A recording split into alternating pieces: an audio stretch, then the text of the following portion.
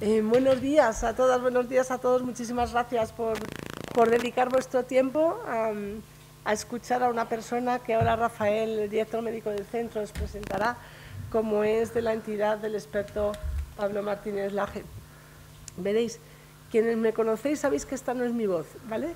Estoy un poco, me he hecho una prueba, no tengo nada de ese bicho que anda por ahí, pero ando afónica, no tengo voz, entonces les voy a pedir a los demás que, que hablen hoy por mí, solamente agradeceros, eh, deciros que la importancia que tiene la prevención en el tema que nos ocupa, que son las personas con demencia, las personas con Alzheimer, siempre es mucho mejor que no la intervención que posteriormente tenemos que hacer. Entonces creo que es un tema muy apropiado, creo que tenemos la, la suerte de tener a la mejor persona en España que nos pueda hablar de ello y no, y no, es porque esté así, es así lo creo y así muchos de vosotros los conocéis y para ello también quiero agradecer a Grupo 5 en la figura de María Almeida, de su gerente aquí, porque ha hecho posible que Pablo pueda estar con nosotros esta mañana. Os agradezco y mmm, me disculpáis, pero me callo y le paso la palabra a Rafael. Cuando quieras, Rafael. Gracias. Gracias, buenos días. Eh, me cabe el honor de presentar a Pablo Martínez Laje. Eh, me atrevo a decir que buen amigo y buen amigo de esta casa desde el inicio de los tiempos. Eh, él, como persona modesta que es, me ha pedido que lo, presente de una forma apacible, diciendo que es médico solo. Pero hay que dar una, pequeña pincelada, porque está Pablo aquí por su bagaje científico. No vamos a contar in, in extenso, pero sí hay que decir que es especialista en neurología, estudió en la Universidad de Navarra y allí hizo la especialidad. Y desde entonces pues, ha trabajado en el campo de la asistencia, investigación y docencia, eh, o sea, las tres patas de la medicina, en muy diversas eh, instituciones. Por ejemplo, en el Hospital Virgen del Camino de Pamplona, en el Centro Psicogeriátrico de Andazábal de Burlada, en la Unidad de Trastornos de Memoria de la Clínica Universitaria de Navarra, en la Fundación Alzheimer Centre Educacional Institut Català de Neurociencias Aplicadas de Barcelona, en el Centro de Investigación de Terapias Avanzadas de la Fundación Cita Alzheimer, que es su actual puesto de trabajo, donde es el director científico. Están especializado en atención a personas con deterioro cognitivo y demencia y la investigación en la enfermedad de Alzheimer. Eh, fue también eh, coordinador y ponente del Plan Nacional de Alzheimer que eh, tra trabajamos desde aquí, desde el Grupo Estatal de Demencias que coordinó él y un, grupo de, expertos y de especialistas. En los años 10 y, empezamos en el 12, 13, 14, el plan salió en el 19 con vigor hasta el 23 y ahora está en revisión. Eh, le cabe el honor de haber sido pues, eh, el alma mater de ese plan. ¿vale? En cuanto a la conferencia que va eh, a, pronunciar hoy y que nos va a ilustrar, eh, mm, siempre se, viene hablando desde hace mucho tiempo del diagnóstico a tiempo, lo llamaban así en Europa, diagnóstico, es diagnóstico temprano de la, enfermedad, de la demencia, incluso a veces desde las primeras quejas subjetivas de memoria. ¿eh? Eh, repito mucho las cosas, se me olvidan dónde dejo las llaves. Estas cosas que nos pasan a todos o a muchos, y lo tenemos que reconocer así, a veces es mmm, un inicio de algo que hace que si se actúa desde el principio, por eso es lo que Pablo eh, incidirá sobre todo en el diagnóstico temprano, y para prevenir la dependencia que posteriormente puede causar la enfermedad. ¿eh? Como si lo hace, empezamos pronto y lo hacemos bien, retrasaremos, modificaremos un poco ese curso para poder mmm, programar, entre comillas, nuestro futuro. Eh, digamos que es una visión muy novedosa y Pablo pues es un maestro. Así que muchas gracias. Mm, tiene, va a tener la prerrogativa de hablar sin mascarilla. Los demás tenemos que tenerla puesta. ¿eh? Pero eh, él podrá hablar eh, ahora que se queda solo. Vale. Eh, he pedido permiso para hablar sin mascarilla. Me han dicho, por un lado que no, por otro lado que sí. Entonces, voy a empezar con mascarilla y como me voy a ahogar seguro, me la quito después. Si te lo dice el jefe médico... Bueno. Le dejamos. Gracias, Pablo. Nada, gracias, gracias a, a vosotros, Maribel y, y, y Rafael. El, el, honor es mío de estar aquí y, y no solo es un honor, es un placer. Y tengo que decir que, hombre, venir a hablar al centro de referencia estatal, pues impone, impone. Eh, y vengo con un poco de miedo a no contaros cosas nuevas. Quizás algunos me hayáis oído presentar antes y hablar del diagnóstico temprano y, de la importancia y de los, biomarcadores. Em, yo lo que voy a intentar hacer hoy es, con todos los respetos, intentar decir un poco qué es la enfermedad de Alzheimer. Hablaremos un poco de pasada del diagnóstico y quizás del tratamiento, pero sobre todo aplicado a lo que es prevención primaria y secundaria, que luego veremos en qué consisten. No vamos a hablar de la prevención terciaria, porque es la que se haría en personas que ya están en situación de dependencia, que hay muchas cosas que prevenir, pero eso es para otro día.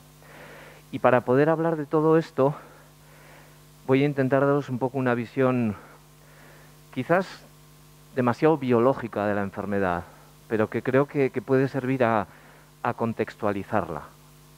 Una vez tengamos el concepto, ver qué es lo que hay debajo de la enfermedad para poder hablar de eso que creo que hablamos con demasiada alegría, que es la prevención. Porque todo el mundo piensa que ya pues, se puede prevenir, pero no sé si realmente tenemos muy, muy, muy claro qué es lo que hay que hacer para, prevenirla. Y eso es lo que voy a intentar eh, hacer yo hoy. Em, si cualquier presentación o charla que hable de neurociencia tiene que empezar mencionando a Santiago Ramón y Cajal, hombre, pues si vamos a hablar de Alzheimer, pues vamos a mencionar a, Lois Alzheimer, ¿no? Sabéis que era un psiquiatra que trabajaba en Alemania, cerca de Frankfurt. Un buen llegó al centro en el que él trabajaba esta chica, Auguste Deter, con un cuadro de varios meses de evolución, sobre todo con mucha sintomatología psiquiátrica, psicótica, pero que también tenía problemas de lenguaje, problemas de memoria, etc.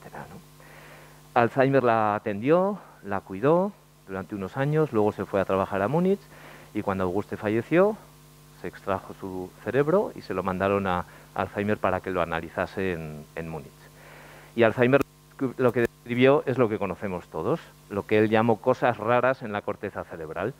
Las placas seniles, que luego veremos que tienen una proteína dentro que se llama amiloide, y los ovillos neurofibrilares dentro de las neuronas, que luego veremos que están constituidos por una proteína que se llama tau. Alzheimer tenía mucha preocupación por saber qué ocurre en el cerebro de las personas que tienen enfermedades mentales.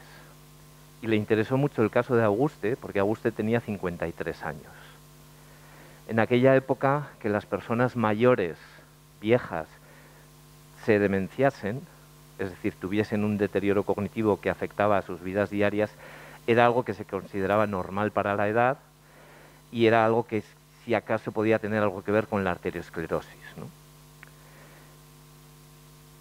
Alzheimer describió el caso, lo presentó en varios congresos, publicó un par de artículos y nadie le hizo realmente mucho caso hasta que en los años 70 un grupo de investigadores británicos intentan responder a la pregunta de si realmente la demencia de las personas mayores es por la edad o no.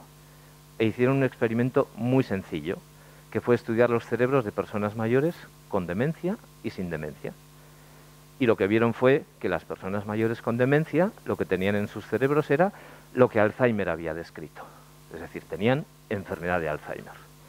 Y ya desde el año 70 nadie más debería haber hablado nunca de la demencia senil. Y esto lo digo con todo el propósito, porque demencia es un síndrome que lo pueden producir distintas enfermedades. Y la enfermedad es un proceso concreto, con unas proteínas involucradas, con una fisiopatología muy concreta. Este es un mensaje que yo creo que ya ha calado. Ya muy poquita gente habla de demencia senil, pero todavía sigue habiendo quien lo hace. El cerebro, aparte de ser el segundo órgano favorito de Woody Allen, es el órgano que da sustento a nuestras funciones más genuinamente humanas. Todo lo cognitivo, que da sustento a nuestros estados psicológicos, a nuestros estados de ánimo, a nuestras ambiciones, a nuestras creencias, a lo que en definitiva queremos ser como personas. Y en la medida en que cognición, conducta, estados psicológicos funcionan en armonía, somos capaces de adaptarnos a nuestro entorno, familiar, social, laboral, quien tenga la suerte de tener un trabajo. Si en el cerebro irrumpe una enfermedad que rompe esa armonía, puede terminar haciendo que no seamos ya capaces de adaptarnos, que no seamos capaces de ser autónomos, que no seamos capaces de ser independientes y de valernos por nosotros mismos, porque nuestra cognición está afectada, porque nuestra conducta está alterada.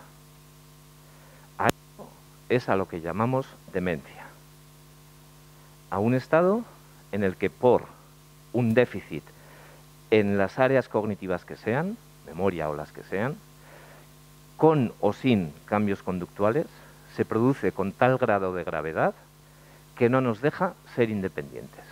Eso es demencia. Ya sé que os lo sabéis, pero a mí me ayuda a decirlo. Porque eso es lo que queremos prevenir. Que un proceso como el Alzheimer haga que una persona se convierta en dependiente. Demencia y dependencia vendrían a ser sinónimos siempre y cuando esa dependencia la produzca un problema cognitivo.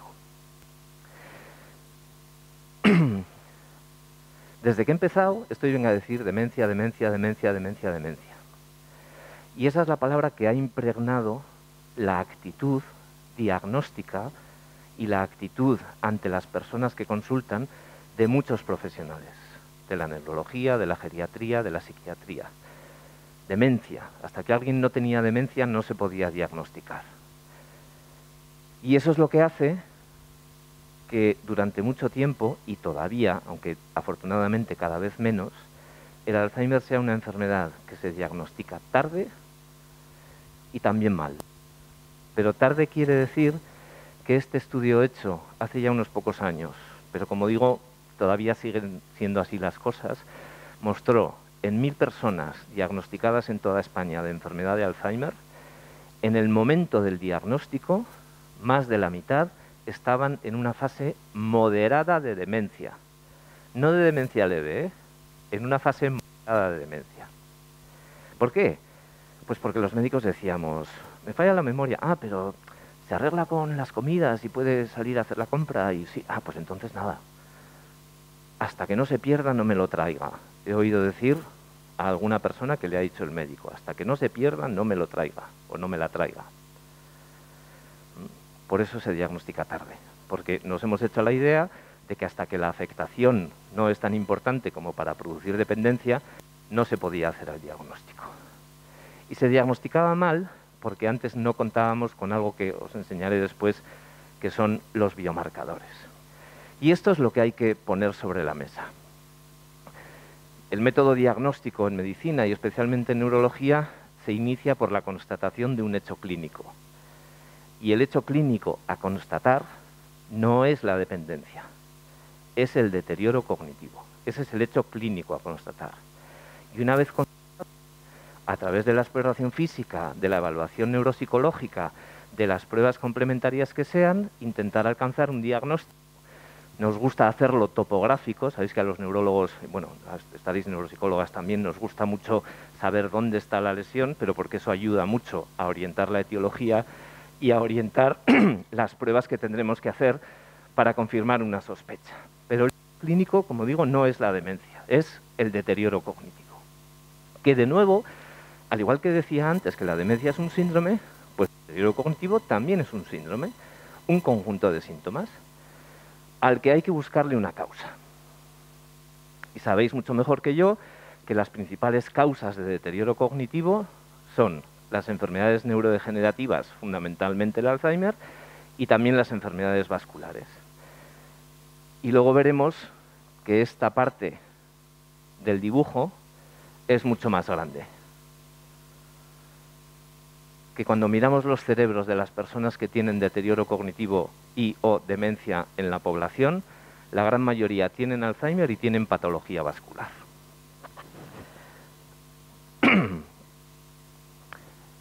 Nos gusta decir que el paradigma diagnóstico ha cambiado. Ya no se trata de ir de la situación de demencia a predecir lo que habría en la autopsia, que es lo que se ha dicho siempre. El Alzheimer solo se puede diagnosticar con certeza en la autopsia. Eso era verdad hasta hace unos pocos años. Porque ahora podemos partir de los primeros síntomas, hacer biomarcadores y sin necesidad de esperar a la autopsia saber que en el cerebro de la persona que nos está consultando hay placas seniles, amiloide y ovillos neurofibrilares o tau. Hecha esta introducción, el punto de partida es claro.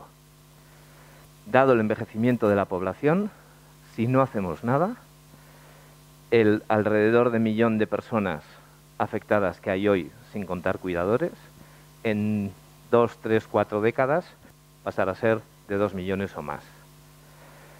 Y las cuentas son muy claras. Atender a una persona cuesta 30.000 euros al año. El Alzheimer suele durar una media de entre 8, 10, 12 años. Dos millones de personas, si multiplicáis, es insostenible. Tenemos que hacer algo.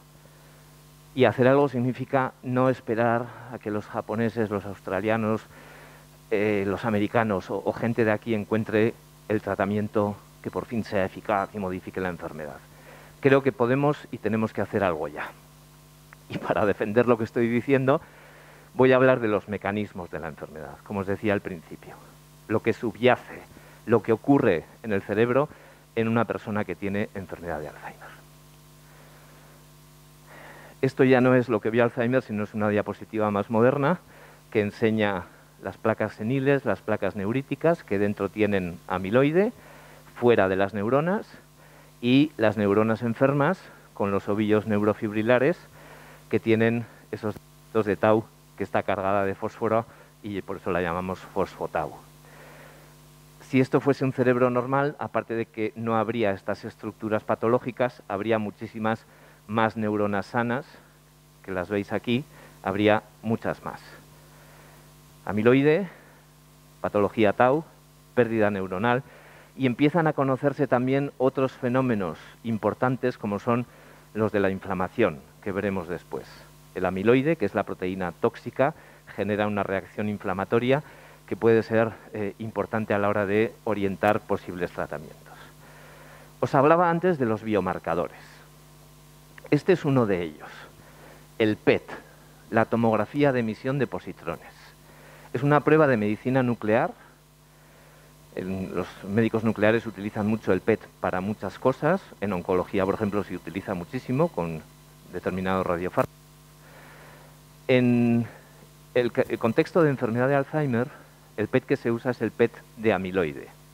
Consiste en inyectar un radiofármaco por vía venosa que se une reconoce y se une al depósito patológico de amiloide, de manera que circula por la sangre, cuando pasa por el cerebro, si en el cerebro hay depósitos de amiloide, el radiofármaco se queda unido y como es un radiofármaco, emite una radiación que la máquina de PET recoge y convierte en una imagen y nos dice si en esa persona hay depósitos de amiloide en la corteza, cosa que no se ve en una persona que no tiene la enfermedad. Y esta prueba tiene una fiabilidad, contrastando con la autopsia, mayor del 95%. O sea, da un diagnóstico muy, muy fiable, por no decir casi 100% fiable. No tiene efectos secundarios, salvo sobre el bolsillo, porque hacer un PET cuesta dos mil y pico euros. Creo que los sistemas sanitarios no se lo pueden permitir hoy en día, algunas personas sí, pero hablamos de atender a todo el mundo que tiene deterioro cognitivo con sospecha de Alzheimer. Pero la suerte es que hay otra alternativa, que es la determinación de biomarcadores bioquímicos en el líquido cefalorraquídeo. El líquido cefalorraquídeo es un líquido que se produce a nivel cerebral, que baña todo el cerebro y que circula por este canal que tenemos en la columna vertebral y que como que circula nos permite acceder al líquido a través de una punción en un sitio donde no está la médula. La médula se termina aquí y la punción se hace aquí abajo. Accedemos, sabéis lo que es una anestesia epidural, pues el procedimiento es exactamente el mismo. En la anestesia epidural, cuando llegan a este sitio, inyectan la anestesia, en la punción lumbar, cuando llegamos aquí, obtenemos una muestra de líquido. La mandamos al laboratorio y el laboratorio nos dice los niveles de amiloide, de tau y de fosfotau. Si están normales, no hay patología Alzheimer. Si están alterados, tenemos patología Alzheimer. La sumamos a que hemos diagnosticado deterioro cognitivo y ya tenemos el diagnóstico de Alzheimer. Es tan sencillo como eso. Si queréis, luego hablamos de los riesgos, las complicaciones, que evidentemente no son eh, bueno, pues los mismos que, que la epidural. En la medida en que hemos contado con los biomarcadores y que hemos podido conocer personas, tanto en las consultas como en proyectos de investigación, cuyos biomarcadores eran positivos o negativos, hemos podido saber, gracias a mucha investigación de muchos años, que el Alzheimer, antes de producir dependencia, pasa por una fase de primeros síntomas sin pérdida de autonomía, que es lo que luego llamaremos deterioro cognitivo ligero o leve, pero lo importante es eso. Primeros síntomas objetivables en las pruebas neuropsicológicas en una persona que está haciendo una vida normal o casi casi normal, no hay dependencia, fase predemencia o prodrómica, como la queráis llamar, o deterioro cognitivo ligero por enfermedad de Alzheimer, cuando se hacen biomarcadores. Y hay además una fase que llamamos preclínica, que así como esto se debería estar haciendo ya en todas las consultas especializadas, esto es solo factible en un contexto de investigación, porque estamos hablando de hacer biomarcadores en personas cognitivamente sanas, sin síntomas, con una neuropsicología normal. Y se debería hacer solo en contexto de investigación, porque hoy en día, aunque la vamos conociendo cada vez mejor esta fase, es imposible decirle a una persona cognitivamente intacta, tenga o no tenga biomarcadores, positivos o negativos, qué le va a ocurrir en un futuro. Y por eso, utilizar biomarcadores en una persona sana, yo lo consideraría hoy por hoy mala práctica importantísimo en investigación para poder conocer. Pero, como digo, en práctica clínica para mí no tendría ningún sentido. Si entendemos así la enfermedad, es fácil hablar de prevención. Os decía antes la terciaria, vale, podemos prevenir que la gente se pierda, podemos prevenir que quemen la cocina, podemos prevenir que firmen un papel que no quieren firmar, que alguien les venda algo que no quieren comprar o podemos prevenir aparición de problemas de conducta. Eso sería prevención terciaria, en una persona ya en situación de demencia, leve o moderada. Siempre se puede hacer algo. Pero si tenemos una persona que todavía es autónoma, nos podemos plantear hacer algo para retrasar o prevenir la aparición de dependencia. Eso sería prevención secundaria. La enfermedad ya está presente, ya ha empezado a dar un poco la cara, la detectamos pronto y prevenimos un hito importante de la patocronia, que es la aparición de demencia, de dependencia. Eso sería prevención secundaria. Si detectamos la enfermedad en su fase preclínica, primeros cambios patológicos sin síntomas, hacer algo ahí también sería prevención secundaria, porque la enfermedad ya está presente. El ejemplo típico es la mamografía, detectar un nódulo para actuar. El nódulo ya está presente, lo detectamos y hacemos prevención secundaria día podemos hablar también de actuar antes de que todo esto empiece.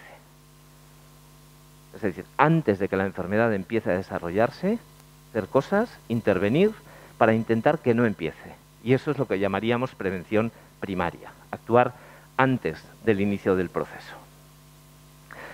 Vale, os iba a hablar de mecanismos. El amiloide. Sabéis que las placas tienen un núcleo muy claro de proteína amiloide, también hay amiloide alrededor el amiloide es una proteína pequeñita que viene de una proteína más grande que todos tenemos en nuestras neuronas que se llama proteína precursora de amiloide, que nuestras neuronas utilizan y que cuando la utilizan, pues muchas veces la molécula se rompe en un punto que no genera amiloide. Pero otras veces, quizás cuando hay que utilizarla mucho o en determinadas condiciones genéticas, se rompe en dos puntos por dos enzimas que generan el péptido amiloide, péptido es proteína pequeña, que es muy pegajoso, se une unos con otros, se vuelve tóxico, eso es lo que se llaman los oligómeros, que habréis oído hablar, se vuelven ya tóxicos y sobre todo forman conglomerados que se depositan en forma de placas seniles. Esa es la generación del amiloide, como digo, en todas las neuronas.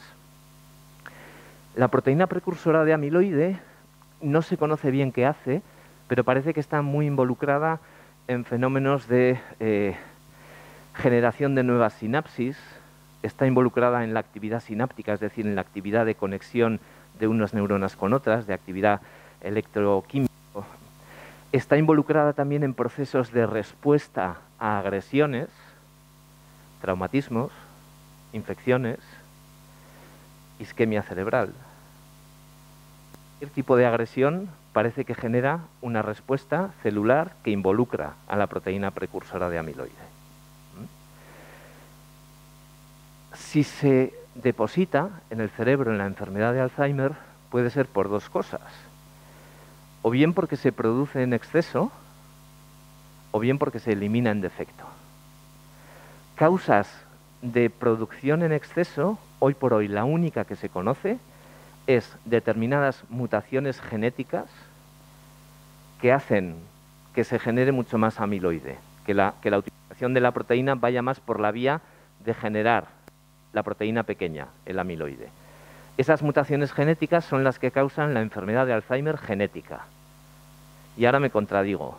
La enfermedad de Alzheimer no es genética, no es hereditaria, salvo en casos muy concretos que sí lo es, que son estas mutaciones que afectan quizás a uno de cada 100 personas con enfermedad de Alzheimer, es rarísima, pero existe, y que, como digo, afectan al metabolismo de la, de la proteína. Cuando se genera el amiloide y empieza a ser tóxico, lo que hace es producir cambios dentro de la neurona que hacen que la proteína tau, que es la que forma el esqueleto de las neuronas, la que permite a las neuronas mantener su forma y sobre todo funcionar, esa tau afectada por el amiloide se carga de fósforo, pierde su estructura, ya no puede funcionar para que se transmitan las proteínas a través del axón de la neurona, la neurona no puede funcionar bien metabólicamente y termina degenerando. Esto se conoce ya bien como el amiloide afecta al metabolismo neuronal y hace que se genere una proteína tau anómala, que en definitiva es la que hace que la neurona muera, degenere y muera. Antes os he hablado del PET de amiloide. Hoy en día se dispone también, está saliendo un poco del, diríamos, del horno de la investigación y se empieza a aplicar ya en, algunos centros aquí en España, el PET de Tau, que es el mismo procedimiento, pero lo que se inyecta es un radiofármaco que reconoce Tau. Y aquí veis cómo la Tau, en personas que tienen amiloide, conforme va avanzando la enfermedad, va extendiéndose desde estas zonas del lóbulo temporal medial, que son las zonas de la memoria, a zonas ya del resto de la corteza cerebral y afectando a otras eh, funciones cognitivas. Este proceso de primero depósito de amiloide y luego depósito de tau y luego deterioro cognitivo es bastante, bastante bien conocido hoy en día gracias a este tipo de estudios, como digo, con PET amiloide, con PET tau, que enseñan que las personas que tienen depósitos de amiloide son las que desarrollan depósitos de tau y en última instancia degeneración neuronal y deterioro cognitivo. Vale, os estaréis preguntando, porque yo antes he dicho, si se deposita el amiloide es porque se produce en exceso o porque se elimina en defecto. Debe ser bastante importante eliminarlo porque nuestro cerebro tiene varios mecanismos para hacerlo. Por un lado, fenómenos celulares que lo que hacen es romper la molécula. Va una enzima, la destruye y ya está. Quizás el proceso más importante es lo que decía antes de la inflamación. Cuando empieza a haber demasiado amiloide, las células inflamatorias del cerebro, esas que se llaman la microglía, los astrocitos, etcétera, se ponen en marcha para funcionar, secuestran el amiloide y lo destruyen y lo eliminan. Y hay una tercera forma de eliminación que casi no se ve en la diapositiva, luego lo veremos mejor, que es a través de los vasos sanguíneos. El amiloide en exceso hay mecanismos que lo transportan a través de la pared vascular, lo llevan a la sangre y a partir de ahí se elimina en el riñón y en el hígado. Este fenómeno de inflamación, que tal y como yo lo he contado parece algo fisiológico y protector, efectivamente es así, pero es un arma de doble filo. Porque cuando hay una inflamación, diríamos, equivocada, no necesariamente una inflamación excesiva, una inflamación equivocada, que se mantiene en el tiempo. Es un arma de doble filo porque la propia inflamación se convierte en una agresión y hace que se genere más amiloide. Este es un estudio que hicimos colaborando con el grupo de San Pau en Barcelona desde San Sebastián, donde hacíamos análisis de líquido cefalorraquídeo a personas cognitivamente normales y analizábamos el amiloide por un lado y un marcador de inflamación por otro. Y veis aquí cómo en las personas que tienen los niveles normales de amiloide hay una correlación entre el amiloide y el marcador de inflamación, que es una correlación positiva. Es decir, a más marcador de inflamación, más amiloide en líquido, que es bueno, porque lo patológico es que el amiloide disminuya. Si son las personas que tienen valores bajos, es decir, que tienen patología amiloide, es al revés. A más inflamación, más patología. Y por eso es un arma de doble filo, la inflamación. Pero también es un arma de doble filo porque el amiloide genera inflamación, pero otro tipo de inflamación por otras causas, por ejemplo infecciones, o por ejemplo situaciones inflamatorias del organismo, crean un ambiente de inflamación equivocada que hace que se genere amiloide y se deposite. Es decir, arma de doble filo en dos sentidos. Protectora por un lado, dañina por otro, y generada por el propio amiloide o al revés, la inflamación que genera amiloide. ¿Por qué digo esto? Para que entendamos todos, que nos podamos plantear como hipótesis y que entendamos que nos digan, no, la gente que tiene muchas infecciones tiene más Alzheimer. O la gente que se vacuna de la gripe tiene menos Alzheimer. Quizás los tiros van por aquí. Son hipótesis, ¿eh? no digo que nadie lo haya demostrado. Pero sabéis que se ha hablado del herpes, quizás dentro de unos años con el COVID, pues veamos que la gente que ha tenido COVID más serio pueda tener más Alzheimer, no lo sé o gente que tiene artritis reumatoide y toma muchos antiinflamatorios tiene menos Alzheimer. Os lo digo un poco para que entendamos cuál puede ser el sustrato biológico de todo eso que está ocurriendo. Y os decía también que la amiloide se puede eliminar por los vasos sanguíneos. Y efectivamente es así. Hay mecanismos activos que transportan el amiloide y la tau también a través de la pared vascular. Es un fenómeno complejo que ocurre fundamentalmente durante el sueño. Cuando dormimos nuestro cerebro se limpia, pasa la sangre desde las arterias hasta las venas. Más que la sangre lo que pasa es fluido que atraviesa todo el tejido y se va llevando las moléculas que sobran, la basura metabólica, diríamos. Y se la lleva hacia las venas y hacia el sistema que se llama linfático, etcétera, y eso ocurre durante la noche. Y digo esto también para que entendamos por qué se dice que las personas que duermen menos horas tienen más Alzheimer. Quizás es por esto, porque limpian menos su cerebro. Estoy hablando de hipótesis, ¿eh? no de cosas que estén demostradas. Quizás hayáis oído hablar de lo que se llama la unidad neurovascular. En el cerebro, las neuronas, las células de la glía y las células de los vasos sanguíneos están no tocándose, tocándose y trabajando juntas y hay mucho trasiego, como os decía antes, de moléculas a través de la pared vascular. Y cuando entendemos que las neuronas y la glía y la pared vascular están tocándose y trabajando juntas, entonces podemos empezar a intentar interpretar lo que os decía al principio, que en las personas con deterioro cognitivo y demencia, lo más frecuente es que tengan patología Alzheimer y patología vascular. Y ahora cualquiera podríais levantar la mano y decir, bueno, claro, normal.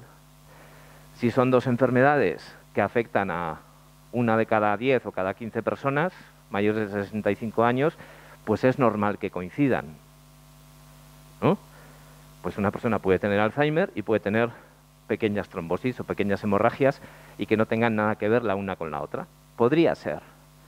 Pero aún así, creo que entendemos bien que una persona que tenga en su cerebro muchos infartos, aunque sean pequeños, o muchas hemorragias, aunque sean pequeñas, va a aguantar peor que el amiloide empiece a, hacer daño y a matar neuronas. Va a tardar menos tiempo ese proceso Alzheimer en afectarle cognitiva y funcionalmente. O sea que podría ser una coincidencia. Pero como os decía, es demasiada coincidencia. Porque en estudios que hay poblacionales, con análisis de autopsia de cerebros, lo que se ve es que en las personas, perdón que se ve muy mal la diapo, pero lo, importante son estas dos columnas, personas sin demencia que llegan a la autopsia y personas con demencia. La patología Alzheimer y la patología vascular es bastante frecuente entre las personas sin demencia, pero cuando se ve a las personas con demencia, lo que les distingue de las personas sin demencia es que es más frecuente que las dos estén juntas. Y entonces cabría plantearse no que sea una coincidencia, sino que una favorezca a la otra y la otra favorezca la una. Y os mencionaba al principio cómo la isquemia cerebral, es decir, la disminución del flujo cerebral por pequeñas trombosis, por estrechamiento de los pequeños vasos cerebrales o las pequeñas hemorragias, generan síntesis de amiloide porque es una agresión. Una neurona que le llega a poco oxígeno se estresa, necesita enfrentarse a esa agresión o a esa lesión y entonces empieza a utilizar APP y genera más amiloide. Esa es una opción.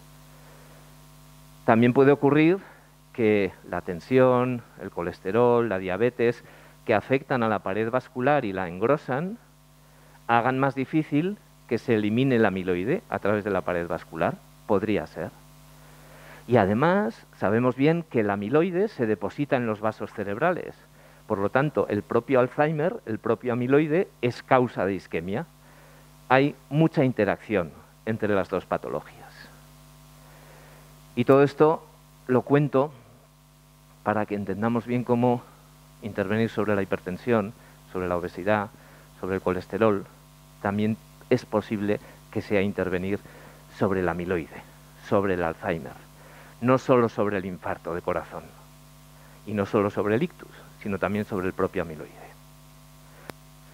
Sabemos bien cómo en personas cognitivamente normales, este es un estudio americano muy amplio, cuando se sigue en el tiempo, las personas que no tienen ni amiloide ni riesgo vascular alto no se deterioran cognitivamente, incluso van mejorando, van aprendiendo los test y van mejorando.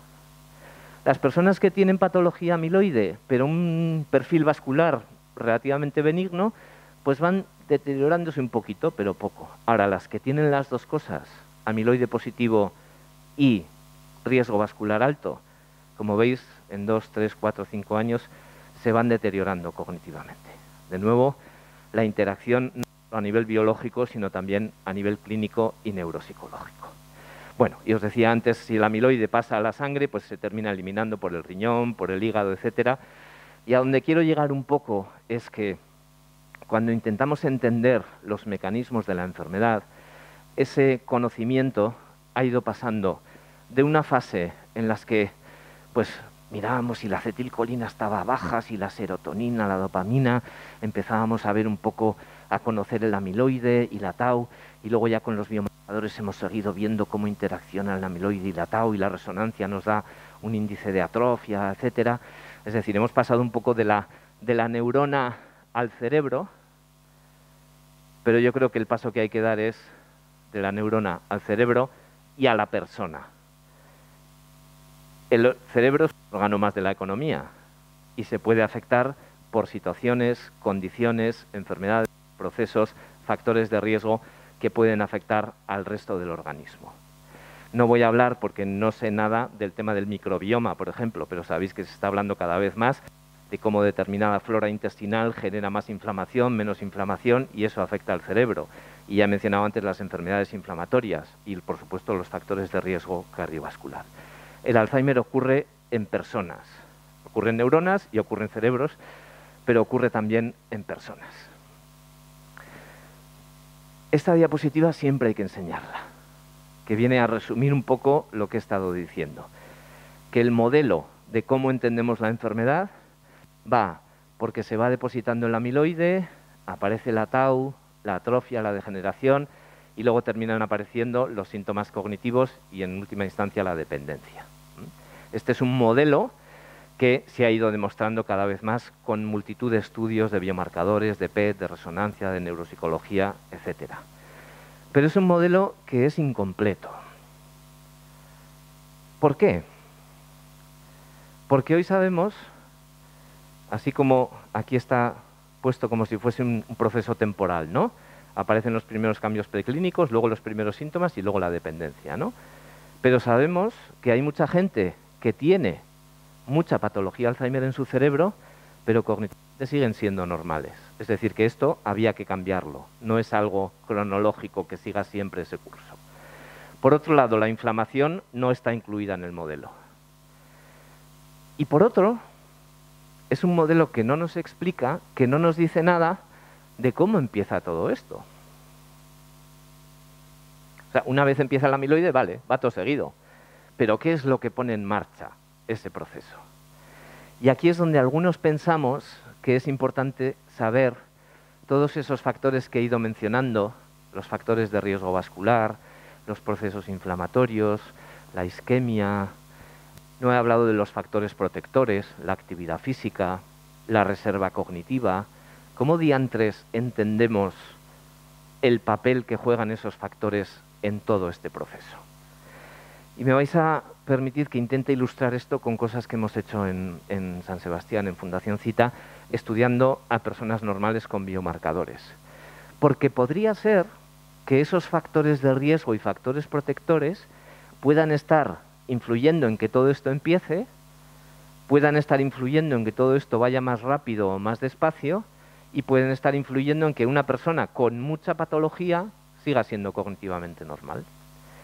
Entonces por eso nos pusimos a estudiar personas normales, entre 40 y 80 años, conseguimos reclutar una cohorte de 400 personas, 230 dieron su permiso para hacerse una punción lumbar, nadie se quedó paralítico, nadie se murió, algunos tuvieron dolor de cabeza, pero a todos se les pasó en menos de cinco días, fueron pocos. ¿eh? De hecho, el dolor de cabeza que obligue a guardar cama, a estar tumbado, ocurrió en un 0,9% de las personas. Un 5 o 6% tuvieron dolor de cabeza, pero pudieron seguir haciendo una vida normal y, como digo, en cuatro o cinco días a todos se les había pasado. Y como digo, nadie se murió y nadie se quedó paralítico. Bueno, estudiamos a estas personas un montón de cosas, y entre ellas los biomarcadores. Lo primero que pudimos, junto con otros grupos de todo el mundo, enseñar es que a partir de los 40 años, un 20% de las personas tienen o tenemos marcador de amiloide positivo. Y luego se van sumando los que se añaden también el marcador de tau positivo. Es decir, esa forma preclínica de la enfermedad, sin síntomas, es bastante prevalente en la población general. Y luego nos pusimos a estudiar los factores de riesgo y los biomarcadores. Esta es la tesis de una compañera de Andrea Izaguirre, que es enfermera, que se interesó por investigar qué relación había entre los factores de riesgo vascular y los biomarcadores. Lo primero que vio, ¿sabéis lo que es el síndrome metabólico? Que se define por la presencia de obesidad, triglicéridos altos, cifras de tensión arterial altas o cifras de glucosa basal altas. Estos son los criterios que en una persona puede tener uno, otra persona puede tener dos, tres o cuatro. Pues como veis, las personas que tienen los cuatro criterios, más de un tercio tienen marcador de amiloide positivo, mientras que esa prevalencia es mucho más baja en el que no tiene ningún criterio ya estamos hablando de cosas que siempre relacionamos con la arteriosclerosis, con las arterias y el corazón, pero ahora lo estamos relacionando con amiloide. Vio también Andrea que entre las cifras de tensión arterial y los niveles de amiloide hay una correlación muy clara. O que las personas que tienen esto que se llama el índice de Framingham, que junta tensión, diabetes, colesterol, sexo, etcétera, los que tienen índices más altos tienen también niveles de amiloide más bajos, que insisto, lo malo es tenerlos más bajos. De nuevo, riesgo vascular y patología Alzheimer. Otra compañera, Anne Iriondo, bióloga, hizo su tesis sobre el colesterol, sobre los lípidos. Y lo que vio es que las personas que tienen triglicéridos o colesterol LDL más altos tienen la microestructura del cerebro afectada. Hizo estudios con resonancia magnética y vio que en la sustancia blanca, que es por donde viajan los axones que conectan unas neuronas con otras, eso está afectado. Y estudiando el neurofilamento, que es un marcador de neurodegeneración, vio que esa afectación se acompañaba de aumento de neurofilamento y que por tanto se debía a que había una enfermedad de los axones. De nuevo, colesterol, triglicéridos, que siempre lo relacionamos con arteriosclerosis, relacionados con neurodegeneración y sobre todo, sobre todo haciendo al cerebro más vulnerable. Estudió también los lípidos que hay dentro del cerebro y vio que algunos óxidos del colesterol también se asocian con patología de la sustancia blanca y esta vez se relacionan también con amiloide. Algo está ocurriendo con el colesterol cerebral, que se oxida en exceso y eso afecta a las neuronas y hace que se deposite más amiloide.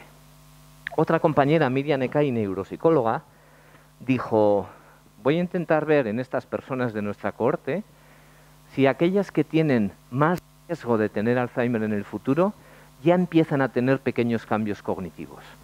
Y aplicó este índice, que quizás conozcáis, que se llama el índice CAIDE de riesgo de demencia, que es muy fácil de calcular si en una persona sabemos su edad, su nivel educativo, su género, sus cifras de tensión arterial, su índice de masa corporal, sus cifras de colesterol y si hace actividad física o no se van sumando puntos y obtienes un índice que te da una idea del riesgo de demencia. Los que tienen más de seis puntos tienen el riesgo aumentado.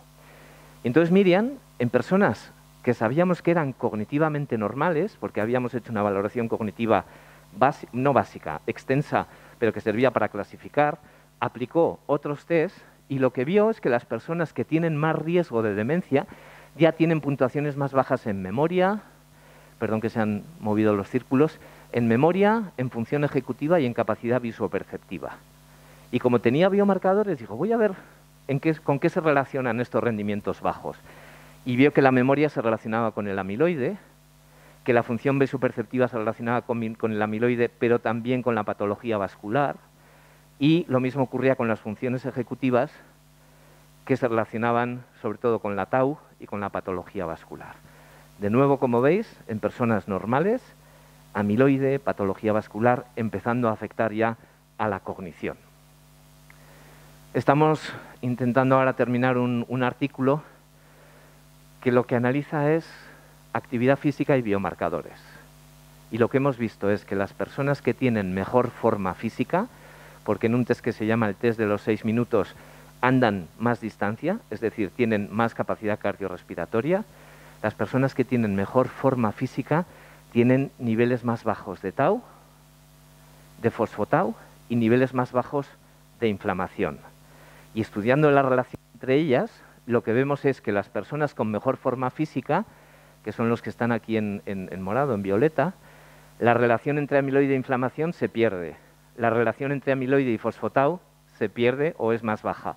Y la relación entre inflamación y fosfotau también es distinta. Parece que la actividad física, a través de modular la inflamación, hace que el daño que el amiloide le hace a la tau sea menor.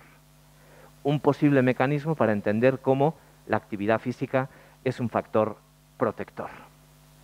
Y hablando de factores protectores, otra compañera neuropsicóloga, Ainara Estanga, que trabaja sobre todo en reserva cognitiva, dijo, voy a ver si las personas bilingües que utilizan euskera y castellano a diario y por tanto utilizan más sus cerebros, porque tienen que, cuando hablan una, inhibir la otra, elegir bien las palabras, etcétera, dijo, voy a ver si estas personas que por definición tienen más reserva cognitiva, usan más sus cerebros, tienen los biomarcadores distintos o no. Y lo que vio es que efectivamente tienen niveles de tau y fosfotau más bajos y tienen menos prevalencia de positividad de, de amiloide. Además de tener rendimientos cognitivos mejores, salvo en lenguaje, que tiene sentido. Y luego está intentando también mirar si el bilingüismo cambia la relación entre edad y grosor cortical. Las personas monolingües, como veis, la correlación entre edad y grosor cortical afecta a bastantes áreas. Sin embargo, en las bilingües parece que la edad no disminuye el grosor cortical. Un posible efecto protector de la reserva cognitiva, eh, en este caso del bilingüismo. Quería ilustrar, como os decía, que todos esos factores de los que he venido hablando, tensión, colesterol, actividad física, actividad intelectual, quizás sí que pueden jugar un papel en cómo toda esta secuencia de fenómenos biológicos ocurre más rápido, menos rápido, quizás empieza a ocurrir o quizás afecta más a la capacidad cognitiva de las personas. os estaréis preguntando si se puede ilustrar eso que decía de que en una persona cognitivamente normal tener biomarcadores de Alzheimer positivos predice si uno se va a deteriorar o no. Efectivamente, quien tiene biomarcadores positivos siendo cognitivamente normal tiene más papeletas, tiene más probabilidades. Pero no todo el mundo. Y nosotros en nuestro estudio, que llevamos ya unos ocho años de seguimiento, tenemos bastantes personas que tuvieron los biomarcadores positivos hace ocho años y siguen siendo cognitivamente normales. Algunos trabajos como este, pues parece que dicen que todo el mundo se demencia, ¿no? Pero claro, es que hay gente que abandona el estudio o gente que se muere sin haberse demenciado, ¿no? Por si miráis a los, a los números, empiezan con 400 y pico personas y terminan con 16. Entonces, tampoco se puede concluir que un 80% van a desarrollar deterioro cognitivo. Por eso os decía que el tema de la preclínica es solo investigación. Pero ya podemos empezar a hablar de prevención, de investigación en prevención a todas se os está ocurriendo que si una persona tiene patología amiloide y es cognitivamente normal, vamos a quitar ese amiloide de ahí cuanto antes, ¿no? Esos son los ensayos clínicos con anticuerpos antiamiloide o con inhibidores de las enzimas que generan el péptido amiloide que se han intentado. Dos de ellos hubo que pararlos por problemas de seguridad con los fármacos. Uno era un inhibidor de, de beta secretasa y otro era una vacuna, un, anticuerpo. Pero hay ya otros dos estudios con anticuerpos, ensayos clínicos en los que nosotros participamos, donde van personas cognitivamente sanas, se les hace un screening para ver si tienen amiloide o no lo tienen, si no lo tienen no hay nada que estudiar, y si lo tienen pasan a una fase de doble ciego con placebo, en los que van a estar cinco años para ver si al cabo de cinco años las personas que reciben el anticuerpo están mejor que las que reciben el placebo.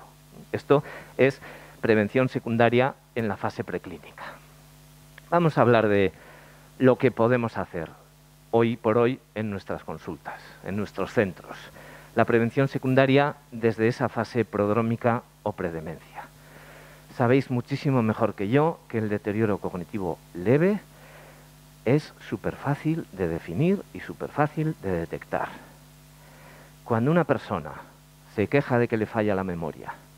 Una buena historia clínica confirma que esas quejas de memoria son relevantes, es decir, no es que voy a la cocina y no sabía que iba, o no es que, joder, me encuentro con una persona que hace un año que no le veo y no me acuerdo el nombre, no. Quejas de memoria relevantes, cotidianas, de lo reciente, acompañándose quizás de despistes con las fechas, de palabras que se quedan en la punta de la lengua, de cambio de carácter, de irritabilidad, que además quejas de memoria que tienen por historia clínica un inicio. Hace ocho meses, hace dos años, no son las que, yo es que de toda la vida, ¿eh? quejas de memoria relevantes.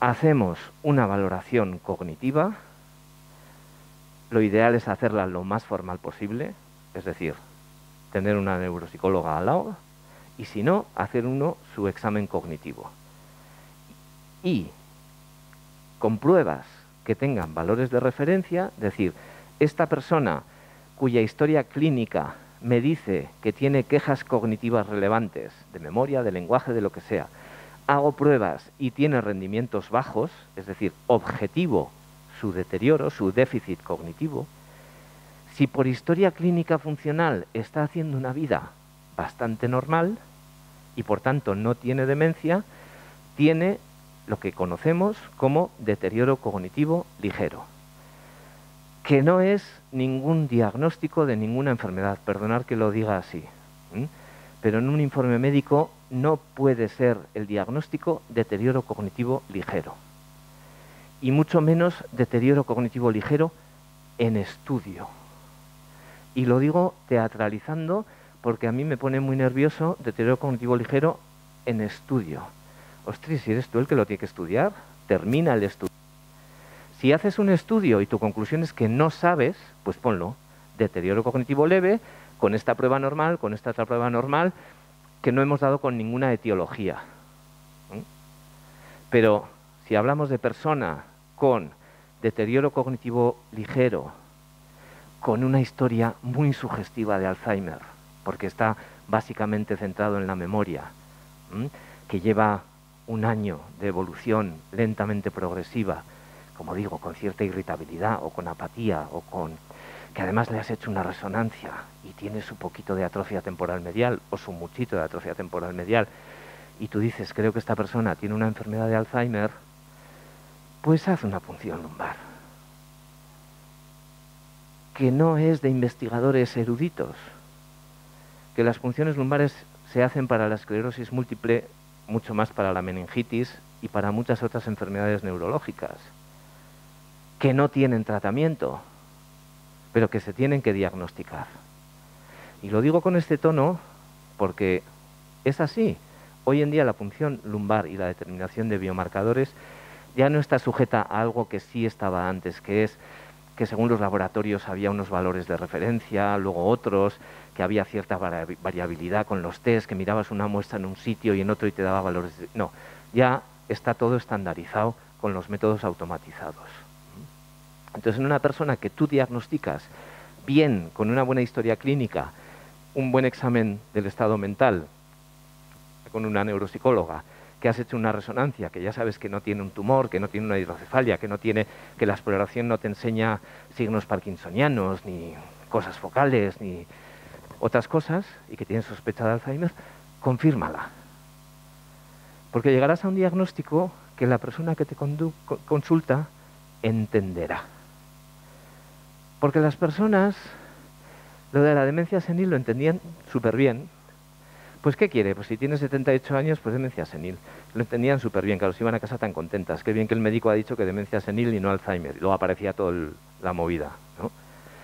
Ahora les dice deterioro cognitivo leve y se quedan así. Yo, por suerte, por desgracia, veo muchas segundas opiniones. Y, y esa es la impresión. ¿Y qué le dijeron? Pues que tiene un deterioro cognitivo. Ah, demencia no, deterioro cognitivo. ¿Y qué? ¿Y qué tengo que hacer? ¿No? Sin embargo, cuando dices, mira, tienes un deterioro cognitivo, tu resonancia nos hace sospechar esto. Podemos hacerte una prueba para saber si tienes Alzheimer o no tienes Alzheimer. Así de claro y así de sencillo, porque la gente no es tonta y la gente quiere saber. Y la gente cuando le pregunta si tú tuvieses un cáncer, ¿querrías saberlo? El 100% dicen que sí. Y si les preguntas si tú tuvieses Alzheimer, querrías saberlo, el 97% dicen que sí. Pues mira, vamos a saberlo. Te vamos a hacer esta prueba. Si nos da negativo, nos vamos a quedar bastante tranquilos, no al 100% porque igual es otra degenerativa, pero nos vamos a quedar bastante tranquilos. Y si es positiva, cogemos el toro por los cuernos, buena tierra para decir esto, ¿eh? y adelante. Y ponemos el tratamiento que haya y tomamos las medidas que haya. Esa es la idea de lo que hoy por hoy debería ser un proceso diagnóstico en las consultas de neurología, geriatría, psiquiatría, y luego acompañándose de todo lo demás. Pero no solo en los centros de, ay, hacen biomarcadores. Nos interesó, aparte de la fase preclínica, hacer investigación también en fase prodrómica.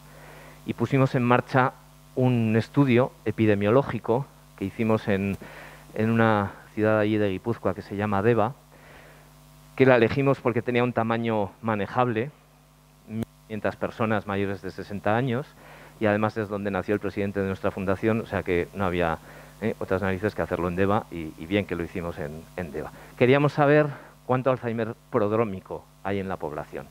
Un estudio de prevalencia al uso, con una fase de cribado y una fase de confirmación diagnóstica, y en este caso también con biomarcadores. Como digo, un estudio epidemiológico al uso. Intentamos ver a las 1500, llegamos a la mitad, que está bastante bien. Pasamos pruebas de cribado sencillas, cuestionario AD8, que no consume tiempo porque lo rellena un informador, y el fototest, que lo conoceréis mucho mejor que yo, que consume muy poquito tiempo, no depende del nivel educativo, se hace rápido y tiene unos valores de referencia muy claros. Quien daba positivo le invitábamos a venir a nuestro centro a hacer un proceso diagnóstico completo. Y a una muestra representativa de los que daban negativo en el cribado también. Bueno, no quiero entretenerme. Bueno, sí. Lo que confirmamos, porque las personas que daban positivo antes de venir a nuestro centro pasaban por el centro de salud y allí les hacían un mini mental y un TAM. Y lo que hemos visto es que el fototest, y sobre todo el fototest añadido al, AD8, como digo, poco consumo de tiempo, funciona mejor que el mini mental. Que el mini mental ya sabéis que está sujeto a todos los problemas que plantea, de nivel educativo, etcétera, y que a cada uno lo pasamos como queremos. Y esto, pues es un trabajo que acaba de publicar Miquel Tain, compañero eh, que vamos a intentar divulgar lo más posible, pues para a las personas que trabajan en atención primaria, enfermería, médicos, pues que igual se animen a pasar el fototest y a darle a los informadores una de ocho. Y con eso decir, oye, tienes esta puntuación, creo que te tengo que derivar, porque además te conozco, tienes estos síntomas y vamos a por ello. Y luego ya el especialista hará lo que, lo que quiera. Pero esto puede ahorrar eh, tiempo en las consultas. Otra cosa que hicimos en DEVA fue aplicar el índice de riesgo de demencia CAIDE, que fue algo novedoso, no había estudios eh, poblacionales. En definitiva, lo que vimos es que deterioro cognitivo leve lo tienen un 16% de las personas, de la población general. Como tenemos biomarcadores, sabemos que un poquito más de la mitad son amiloide positivas, menos porcentaje tienen también tau positivo, pero ahí hay una enfermedad de Alzheimer en una situación predemencia y, por tanto, susceptible de prevención secundaria. ¿Sabéis cuál es el problema? Que más del 90% de los casos que detectamos estaban sin diagnosticar. La gran mayoría porque no habían ido al médico, pero muchos habían ido al médico y no tenían un diagnóstico ni siquiera sindrómico, ni siquiera de deterioro cognitivo leve. Bueno, lo que aprendimos en el estudio de preclínica con los biomarcadores, el líquido, etcétera, y lo que aprendimos en DEVA con los test de cribado, nos hizo que cuando el alcalde de vino a decirnos, oye, yo también quiero hacer algo en, en Beasain, porque estáis haciendo esto en, DEVA, que es muy importante, y nosotros aquí en Beasain ya tenemos rotondas, ya tenemos farolas, y queremos hacer algo por el Alzheimer, ¿no? Y entonces le dijimos, oye, en lugar de hacer más investigación, vamos a llevar la investigación a las casas de las personas. Y le propusimos poner en marcha un programa de detección temprana del deterioro cognitivo. Y le pareció bien, entonces hablamos con el ambulatorio Beasain, con el hospital de referencia y junto con el ayuntamiento pues se montó una oficina de cribado cognitivo. Y entonces ¿qué hicimos? Salir a la Plaza del Pueblo, que ya lo habíamos hecho en DEVA, y explicar a la gente qué es el Alzheimer, que no necesariamente hay que esperar a que produzca dependencia para detectarlo, que detectarlo aunque no se pueda curar es importante porque tiene una serie de consecuencias y, y de ventajas que podemos empezar a hablar de riesgo, que una persona puede conocer su riesgo y empezar a, cuidarse. Montamos el programa y lo empezamos dando charlas, como decía. Llegamos de las 4.000 personas mayores de 60 años a unas 1.200, las, tuvimos en, salas como esta. Dos días las vimos en el cine de Beasain, lleno a, a, rebosar. Bueno, se acercaron al programa 500 personas, más de 500 personas. ¿Por qué? Pues porque tenían fallos de memoria, o porque tenían antecedentes en su familia, o porque simplemente querían saber cómo estaban. En una población sensibilizada, porque habíamos hecho divulgación y habíamos contado lo que es el Alzheimer, el diagnóstico temprano, la punción, las situaciones de riesgo, en una población sensibilizada, como veis, si en DEVA, población general, la prevalencia de deterioro leve era 16%, aquí era 35% y la prevalencia de riesgo alto en DEVA era 20% y aquí era 45%. Luego lo hablamos. Pero de nuevo, la gran mayoría de ese 35% estaban sin diagnosticar. Y por eso hemos puesto en marcha un proyecto que nos lo ha retrasado muchísimo el, el COVID, de hablar con cinco centros de salud ahí de San Sebastián y decirle, cuando tengáis una sospecha de deterioro cognitivo, nos la mandáis lo estudiamos y os devolvemos un informe con resonancia, neuropsicología, punción lumbar, etc. ¿Para qué? Para recabar datos, para poder decir a la primaria y a la especializada que se enteren de que el deterioro cognitivo ligero leve existe, se puede diagnosticar y se puede diagnosticar bien. Como digo, es una pena porque este proyecto lo está parando mucho el COVID, pero bueno, ahí estamos. Entonces, la pregunta es, que es la que hacen muchos médicos. ¿Para qué lo vamos a diagnosticar pronto si no podemos hacer nada? ¿no? ¿Qué podemos hacer en prevención secundaria cuando detectamos a estas personas? Pues todo esto, que lo dicen los expertos. Quien tiene la tensión descontrolada, controlarla. Quien está obeso o obesa, bajar el índice de masa corporal. Colesterol, lípidos altos, intentar bajar. El que fuma, que deje de fumar. El que está solo o sola, que no lo esté. El que tiene síntomas depresivos y ansiedad, abordarlos y tratarlos de la mejor manera. El que no tiene actividad cognitiva, hacer estimulación cognitiva. El que duerme mal, intentar que duerma mejor. Y eso no significa benzodiazepinas. ¿eh? Hay muchas cosas que se pueden hacer de higiene del sueño, etcétera. Como digo, hay muchas cosas que se pueden hacer. Esto lo dicen los expertos, pero lo dicen también estudios como este. Este es el primer gran estudio de prevención del deterioro cognitivo que se hizo en Europa. El estudio MAPT, que hicieron en Francia. El estudio consistía en detectar personas frágiles, y lo que detectaban eran personas frágiles si andaban peor, habían perdido capacidad en una actividad de la vida diaria o tenían quejas subjetivas de memoria importantes. Si una persona tenía una de esas tres, se le consideraba frágil y entraba en el estudio. Y el estudio intentaba demostrar que una intervención sobre factores de riesgo, hacer ejercicio físico y actividad cognitiva, y o un suplemento de ácidos grasos omega 3, comparado con los cuidados estándar de salud, alguna de esas intervenciones ayudaba a prevenir. O sea, había cuatro brazos.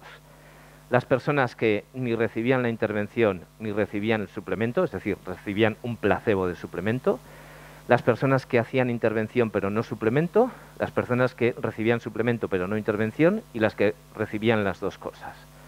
Tres mil y pico personas, seguidas durante, quiero recordar, tres años. Estudio negativo, la intervención no consiguió disminuir la incidencia de deterioro cognitivo. Pero hicieron subanálisis y en las personas que tenían PET positivo, que tenían enfermedad de Alzheimer, aquí sí que la intervención, sobre todo la intervención con o sin suplemento, hacía que al cabo de tres años esas personas que recibieron la intervención, como digo, con o sin suplemento, estuviesen más o menos igual que cuando empezaron mientras que las que no recibían ni intervención ni suplemento se fueron deteriorando poco a poco. Es decir, que en personas catalogadas como frágiles, así con esos criterios un poco mm, discutibles, la intervención y el suplemento no hacen nada. Pero en poblaciones concretas que se sabe que tienen Alzheimer, dice que sí, que esa intervención puede ayudar a prevenir. En las consultas, persona que se diagnostica de enfermedad de Alzheimer en fase prodrómica, hay un suplemento nutricional que se llama Subenaid, que tiene cuatro ensayos clínicos detrás, bien hechos, con placebo, doble ciego. Tres positivos, uno negativo. El negativo es en personas con Alzheimer moderada. Los tres positivos son en personas con enfermedad de Alzheimer más bien muy leve. Para que os hagáis una idea, la media de Minimenta el 25. En esas personas, tomar este suplemento una vez al día en ensayos a seis meses mejora un poquito la memoria, significativamente con respecto a placebo, pero en este estudio que es a tres años y que está hecho no por la gente de Nutricia, sino por investigadores independientes, quien toma Subenaid teniendo Alzheimer prodrómico, al cabo de tres años está mejor que quien toma placebo. Y quien toma Subenaid tiene menos atrofia que quien toma placebo. Es un estudio discutible porque se pierde mucha gente por el camino, a tres años es difícil mantener a todo el mundo, pero como digo, es un suplemento que yo prescribo porque tiene datos detrás, que prescribo a personas con enfermedad de Alzheimer en esa fase predemencia. Sabéis que el donepecilo, la ribastigmina, la galantamina, son fármacos que inhiben una enzima que destruye la acetilcolina. En el Alzheimer, la acetilcolina, que es un neurotransmisor que las neuronas utilizan para comunicarse unas con otras, sobre todo para tener memoria y para tener atención, los niveles de acetilcolina en el Alzheimer están bajos. Estos tres medicamentos inhiben la enzima que destruye la acetilcolina y por tanto suben los niveles. Estos tres medicamentos hacen lo siguiente. Estudio en personas con enfermedad de Alzheimer, demencia entre leve y moderada el ensayo clínico consiste, no sé si son 800 personas, a 400 se les da el fármaco y a 400 se les da un placebo.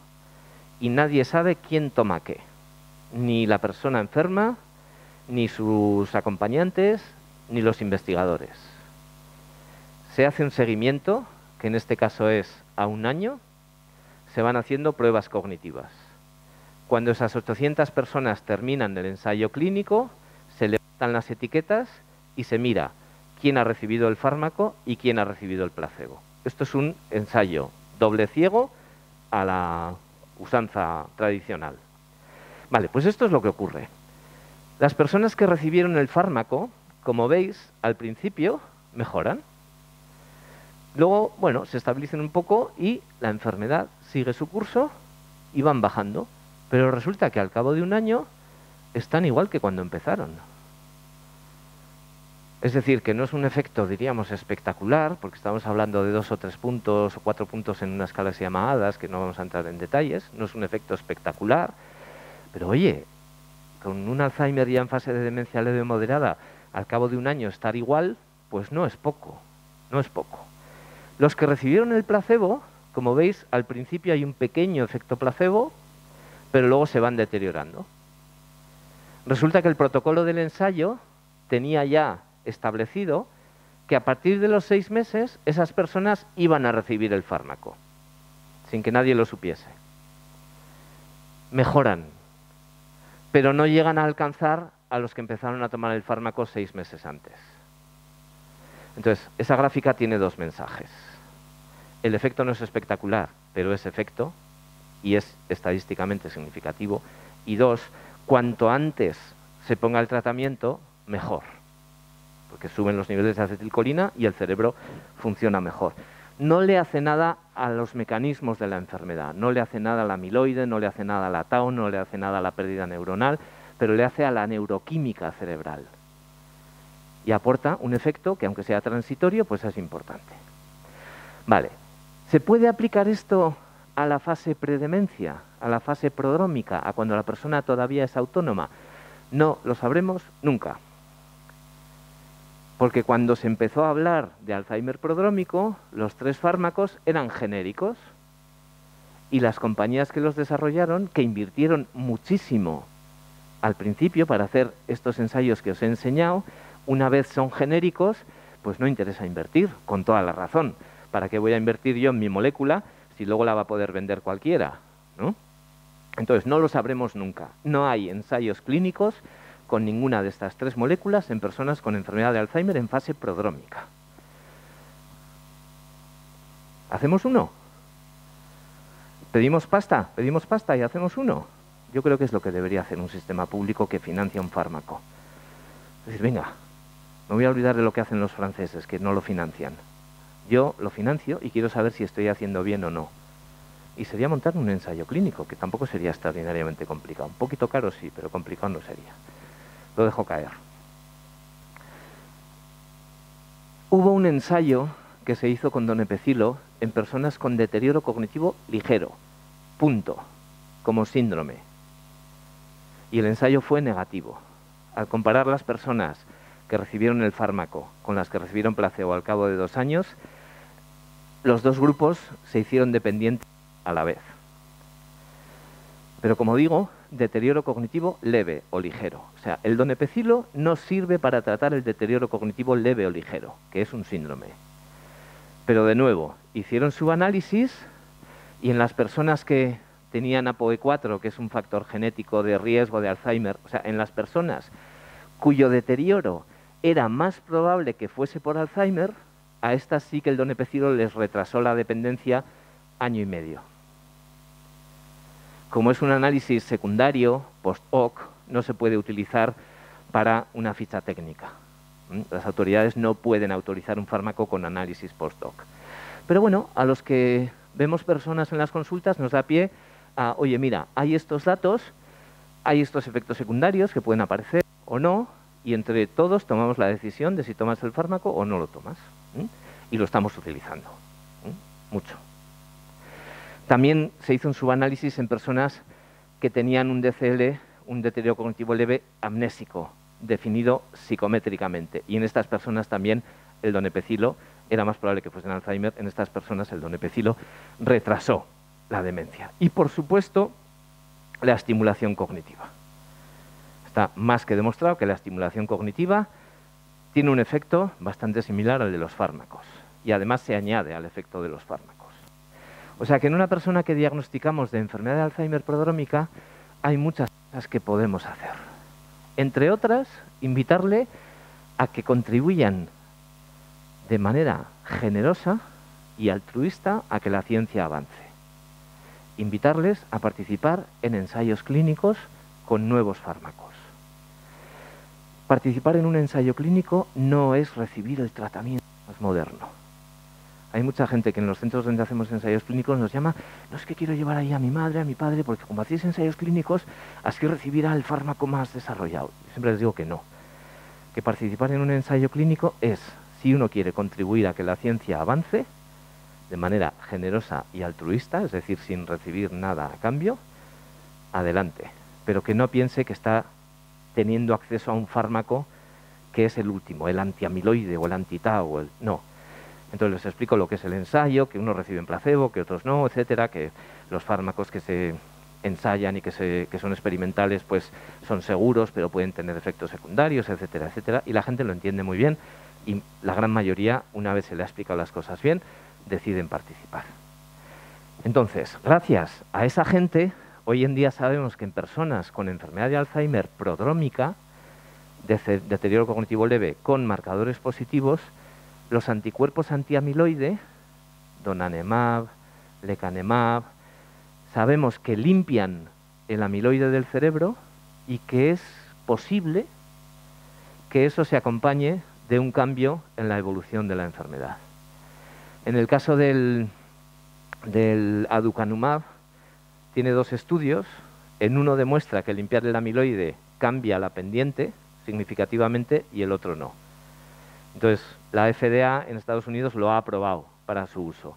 La EMEA, la Agencia Europea, no lo ha aprobado. Si queréis hablamos después un poco de, cómo se ha producido todo esto.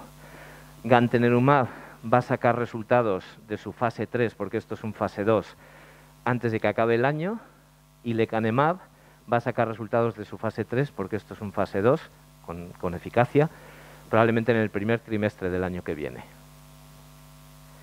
Y veremos qué pasa. Y veremos qué pasa, si hay resultados positivos o no. Y como digo, eh, invitar a la gente a participar en ensayos clínicos con antiamiloide, con antitau, y ya hay ensayos clínicos con anticuerpos que van dirigidos contra la inflamación. Gracias, yo creo que, voy bien. Quedan 15 minutos, ¿verdad? Guay, gracias. Vale, eh, no sabía si dejar esta diapositiva o no dejarla. ¿Habéis oído hablar del recambio de plasma, de la plasmaféresis?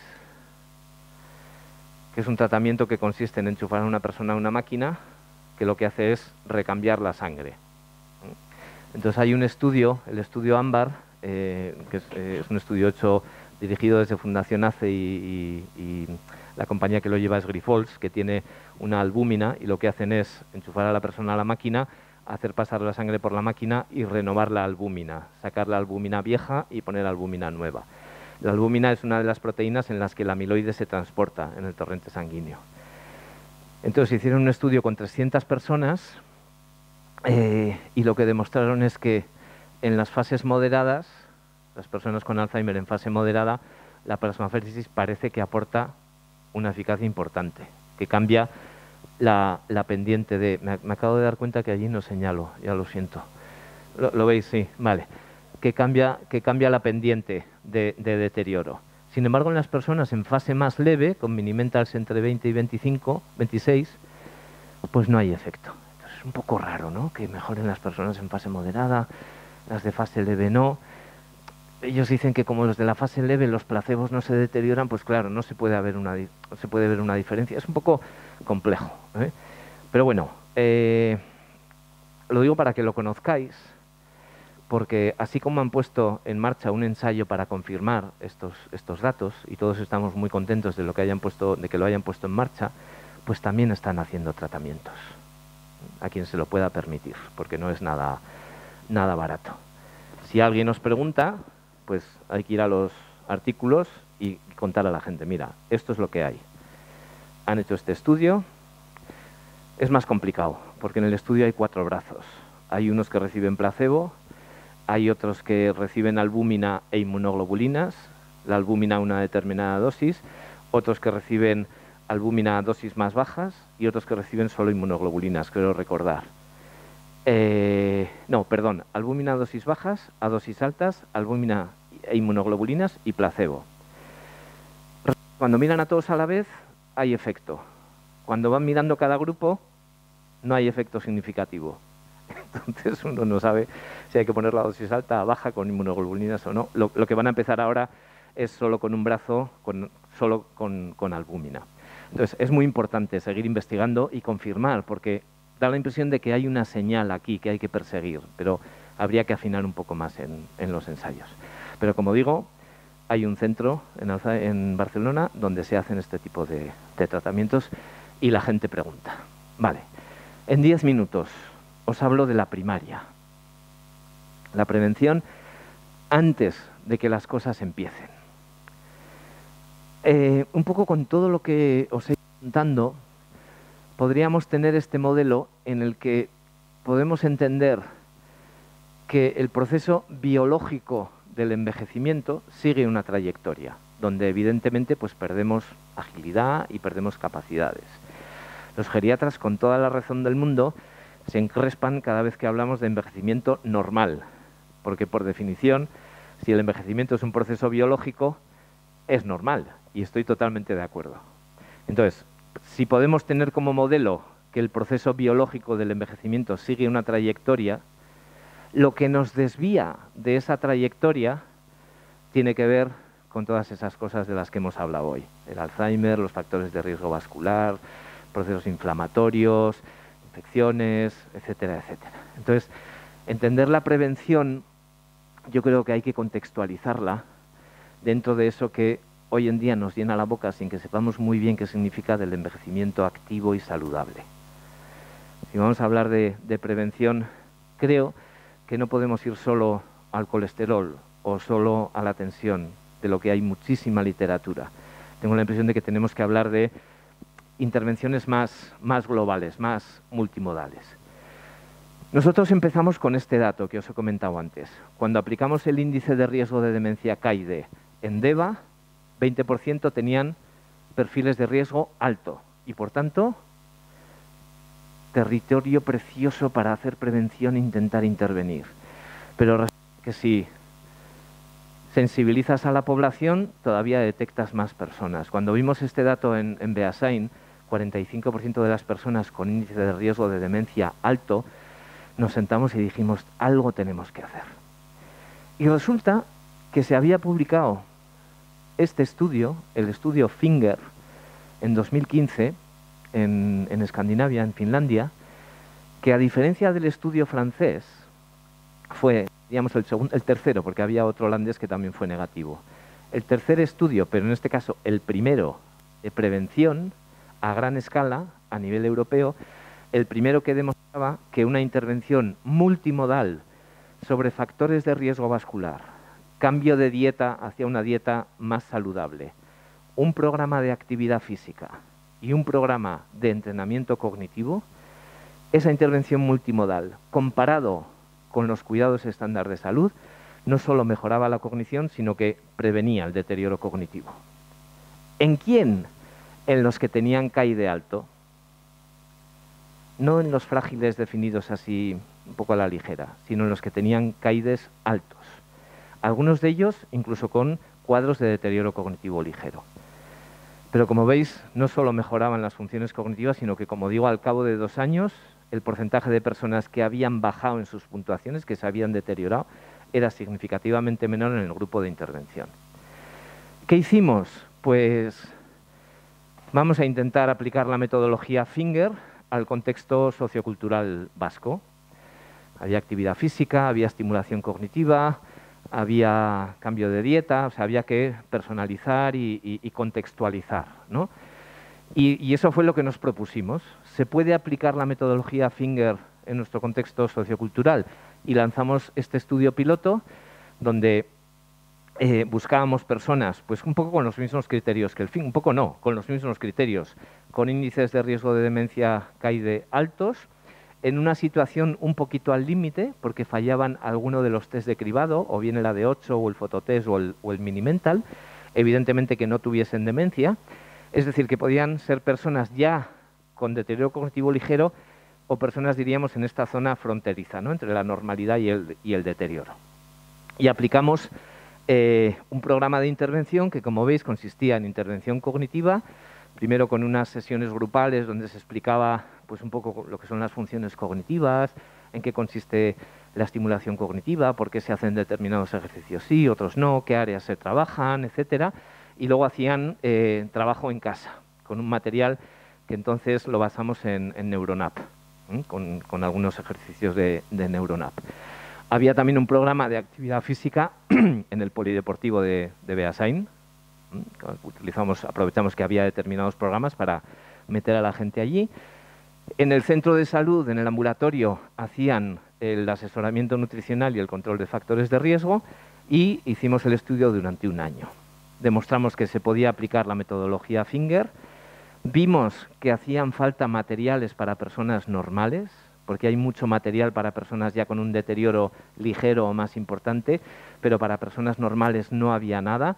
Y entonces desarrollamos este material que llamamos eh, Exercita, que es un material en papel, porque preguntamos quién prefería papel, quién prefería ordenador y el 100% preferían papel y, lápiz. Y es un programa que está muy, muy eh, iba a decir personalizado, no es personalizado, muy, muy dirigido a, a, cosas locales. Quiero decir que cuando se ponen fotos, pues no se pone la Torre de Pisa, se pone el Guggenheim de Bilbao o Nuestra Señora de Aránzazu, ¿no? Y, las historias y, y, yo qué sé, textos para memorizar sacaban de, cosas muy tradicionales, de ahí el País Vasco, etcétera, ¿no? Y es un programa que está eh, funcionando eh, bastante bien. Eh, la adherencia al estudio fue muy, muy alta, más de la mitad fueron a todas las actividades, es decir, a la gente le preocupa su salud cerebral y le preocupa su salud, su salud cognitiva. La aplicabilidad fue un éxito y la adherencia también. Y curiosamente, a pesar de que fue un estudio pequeño, solo con 120 personas, 60 intervención, 60 grupo control, pues vimos eficacia en función ejecutiva y en velocidad de, procesamiento. No quiere decir nada porque, como digo, es un estudio pequeño, pero esto nos ha permitido entrar en un programa mundial que se llama el World Wide Fingers, que lo que buscan es replicar y confirmar los resultados del finger en todo el mundo hay ya varios estudios en marcha. ¿eh? En, Estados Unidos ya hay uno que está bastante avanzado. En Latinoamérica hay uno que, ha empezado y ya están casi terminando el reclutamiento. Y luego hay otro en China, en Australia. Y, esta ya es una diapositiva que se queda anticuada porque ya hay bastantes más, más estudios, como digo, aplicando metodología Finger en distintos países y en, distintos contextos de, diversidad, de, de razas, etcétera. Nosotros, al ver los resultados del piloto, hemos lanzado el estudio de eficacia, que le llamamos cita Go On. Go viene de Gois, no se ha explicado, el estudio piloto era Gois Saindu. Gois en euskera es pronto, temprano, y Saindu es cuidar, cuidarse pronto. Y nos, nos funciona muy bien para el inglés el Go del Gois y el On, que en euskera significa bueno, para decir que continuamos con, el estudio y con la investigación. No os quiero aburrir. Es un estudio con una intervención multimodal. Ahora ya no vamos a 120, sino que queremos reclutar 1.200 personas. Ya hemos reclutado casi 400 en, seis meses. Estamos contentos. Es un estudio que, a diferencia del de Beasain, no podíamos hacer solos y por eso contamos con gente que sabe mucho de actividad física, gente que sabe un montón no solo de qué comer bien, sino de cómo hacerlo atractivo no se trata de intervenir en cambiar la dieta, venga, empieza a comer más verduras, más fruta. No, no. Empieza a comer este plato y este plato que te lo enseñamos cómo se prepara en un, en un taller. Gente que sabe mucho de, estimulación eh, socioemocional y luego Instituto de Neurociencias de Achucarro que nos va a hacer biomarcadores, etcétera. Bueno, es un estudio que está en marcha, lo hemos planificado a dos años, en 600 personas haremos la intervención, otras 600 serán un grupo de, de control y a ver si a mediados del año que viene hemos terminado ya el reclutamiento de las mil personas y, lo iremos contando. Termino. No podemos curar el Alzheimer, pero tenemos este reto sobre la mesa que dice que si consiguiéramos retrasar las cosas cinco años, lo que nos toca hoy es retrasar la dependencia, el efecto de ese retraso de cinco años en los hitos de la enfermedad tendría un efecto acumulativo tal que en dos o tres décadas el número de enfermos se reduciría a la mitad. Es decir, solo retrasando las cosas cinco años, porque la gente se muere por otras cosas, en dos o tres décadas habríamos conseguido reducir el número de enfermos a la mitad. Yo creo que la gráfica lo explica bien. Esto es una curva de prevalencia. La prevalencia hoy en día es que entre los 65 y los 70 afecta al 1%, entre 75 y 80 al 5%, al 3%, de 80 a 85, o sea, se va como, como doblando. Si retrasas las cosas 5 años, a los 85, que es cuando vosotras os morís, nosotros nos morimos un poco antes, el número de enfermos, no, esa es la, esperanza de vida, ¿eh? no me entendáis mal, el número de enfermos seguiría igual.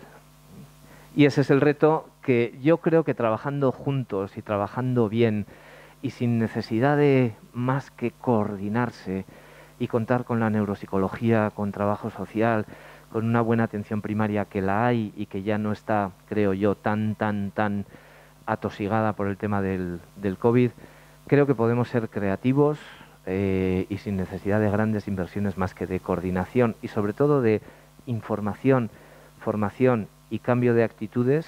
Y ver el Alzheimer no como algo inabarcable inalcanzable, sino como algo que con poquito le podemos dar una buena respuesta, pues eso. Prevención secundaria, prevención primaria y ya por ello. Muchísimas gracias por vuestra atención. Ahora tenemos un rato para discutir.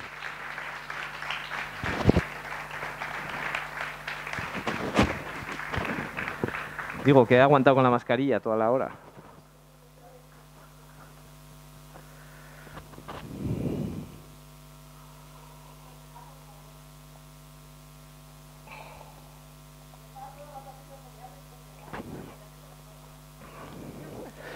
Si me la quito yo, nos la quitamos todas. Bueno, eh, yo sé que a lo mejor a alguno de nosotros la terminología nos pueda parecer eh, difícil de entender o nos puede parecer lejano, pero yo creo que cada uno algo se ha quedado para darnos cuenta de que hay algo que podemos hacer para que las cosas vayan mejor. Os cuento que Pablo tiene un avión a las 7 de la tarde en Bilbao. ¿vale? Esto es un esfuerzo, saben, esta mañana de Navarra, de Pamplona en coche. Ahora se tiene que volver. Aprovechemos si hay alguna pregunta por ahí que veáis y que Rafael nos cuente o alguien que queréis preguntarle antes de que se nos escape. Si hay alguien que tiene alguna consulta, encantado le preguntamos. Si no te autopreguntas tú, ¿eh? No me gusta, no. No, no. Sabéis que esta es una actuación que hacemos como formación, sabéis que esto es una actuación que hacemos dentro del mes mundial del Alzheimer en el que estamos, que el miércoles es el Día Mundial, pero yo soy muy... cojo el guante de lo que ha comentado Pablo en el sentido de que si es una cuestión de dinero hay que encontrarlo donde sea, porque todos los números que nos dice todo el mundo, habla de eso, de los 50 millones de personas con Alzheimer dentro de no sé cuánto, todas las cifras nos hablan del incremento hacia arriba. Y hoy estamos viendo el otro punto de vista, ¿no? ¿Qué podemos hacer para frenar todo aquello? Entonces yo soy una clara defensora, aunque sabéis que en este centro las personas usuarias son personas ya diagnosticadas, yo he leído eso del probable deterioro cognitivo varias veces, no sé si los compañeros también, o eso que decías que odiabas de, los, ¿verdad? En, los, diagnósticos, y que desde el centro yo creo que apoyo mm, se va a tener seguro. Disculpadme que haya tenido que salir, una de ellas era el director general que había visto y que quería saludarte y era para otras cosas. Y estoy haciendo tiempo para que preguntéis, y si no, Rafael, si tú aprovechas para para dar tu opinión como director médico del centro. Tenemos para ir a nuestro neurólogo, a nuestro médico también, si tenéis alguna cuestión. Yo quería darle las gracias a Pablo eh, por su exhaustiva y magnífica y además clarísima exposición. Eh, es difícil en un tema tan, tan específico eh, saber explicarlo de una forma mm, que se entienda y eso quiere decir que se domina. Gracias por eso, Pablo. Cada vez se está hablando más de prevención ya desde hace un tiempo, pero claro, hablar de prevención eh, sin cuantificarlo, pues a mí me da la sensación de que es como cuando yo tenga, bueno, cuando yo tenía 60 años, ponerme a correr cuando no he corrido en mi vida. Es decir, sería un candidato probablemente a un infarto porque no estoy entrenado para ello. Si he sido un fumador empedernido, me ha encantado el cocido con bien de tocino, etcétera, etcétera, ponerme a prevenir demasiado tarde es eh, ya ineficaz. Cada vez que hablamos de prevención, y sobre todo de la primaria, porque ya hay una cuaternaria también, pero bueno, esa queda para otro día sobre todo de prevención primaria, y ya sabemos que de aquí a 2050 duplicaremos nuestra población de enfermos de Alzheimer, hay que, y yo creo que es una labor importantísima el nuevo plan de el que se geste a partir del 23, el nuevo plan de Alzheimer, que Pablo puede contarnos un poquito sobre el fraccionamiento de la idea que tenías tú antes que comentábamos sería cosa de empezar a prevenir, ya sabiendo que dentro de 30 años vamos a ser el doble de demenciados en este país, para empezar a prevenir ahora y no dejar de comer tocino a los 65 y a fumar igual en esa época. Eh, eso eh, es una implicación, entiendo, social eh, completa de atención primaria eh, muy intensa, pero a los médicos se nos ha hecho siempre poco caso con eso de haga usted ejercicio y deje de fumar. No, no sé qué opinión tienes, Pablo, sobre el tema. Bueno, no, gracias por tu comentario. Eh, ya sabes que cuando no hay preguntas, una de dos, o se ha entendido todo muy bien, como dices, o al contrario, no me meto... Opción A. Eh, no, es una charla que es demasiado, demasiada información, demasiado exhaustiva y que es difícil ir a, puntos concretos. ¿no? Pero en lo que comentas hay dos buenas noticias. Una, los estudios epidemiológicos que miraron la prevalencia de la enfermedad. Prevalencia sabéis que es, en un momento dado, cuántas personas hay con la enfermedad.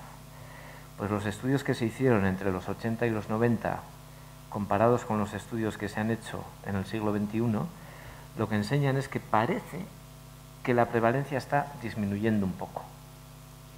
El número de enfermos subirá, ¿eh? porque aunque la prevalencia haya bajado un poco, como habrá más personas, aunque haya bajado un poco, habrá más enfermos. Pero el porcentaje, la proporción de personas con la enfermedad parece que ha bajado un poco.